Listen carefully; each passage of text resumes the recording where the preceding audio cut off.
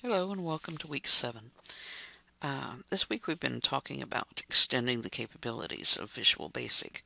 We saw that it is possible not only to store information into variables as we've been doing throughout the class, but also write data to text documents to be saved or printed. Text documents can be formatted to create reports uh, that present the data in a useful, easy to read format. But if we need deeper uh, control of the data or the sheer volume uh, could be difficult when just using a text file, what uh, could we use? A database management system or database or DBMS, sorry, is a software that is built to allow such retrieval and storage. It acts as a kind of middleman between the application written in Visual Basic or other comparable language and the physical layer where the data is stored. The database management system takes the instructions written to, to, into the application and implements them and returns the result back to the application. You can think of a database as a series of one or more tables. You know, I've got a simple table here as an example uh, that would group information together. Here I have three categories uh, or fields. Uh, ID, first name, last name. As we saw in arrays, uh, the first position or column holds a important role. It's called a primary key, and that means that it holds the unique identifier that cannot be duplicated in any other table. Uh, when Visual Basic reads a database, it copies values from the table as program variables. You can look at the table on uh, the textbook. Uh, table 10.3 compares the SQL types with Visual Basic types, and by now you should be familiar enough to recognize the similarities. Um, in Visual Basic Studio, you have the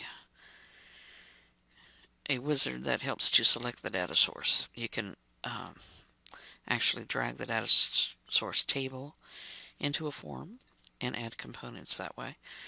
If you look at um, your Server Explorer, you'll notice that there are several options, one of which is servers. Under there, you will see your own computer.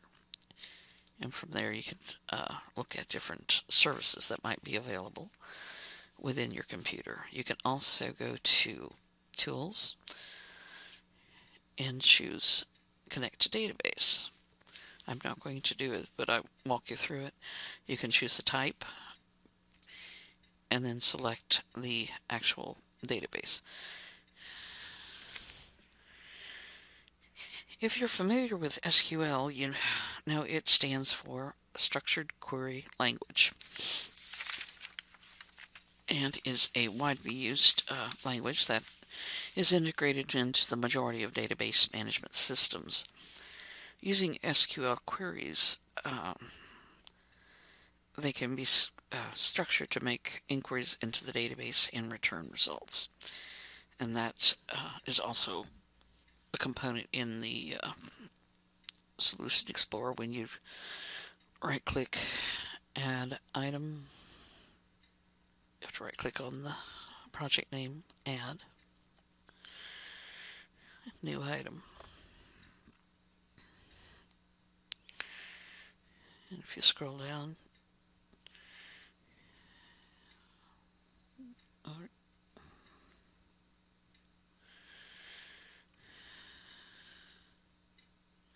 You can choose like a service-based database or SQL classes. So it is widely integrated. Oh, cancel. Uh, again, you can look at uh, a table on section 5, chapter 10, and see some of the SQL uh, keyword options. And as an introductory course, we're not going to delve too deeply into database management systems or SQL, but it is important to understand how they extend the capabilities of a Visual Basic application to help streamline tasks and handle large volumes of data. Um, and that's all today.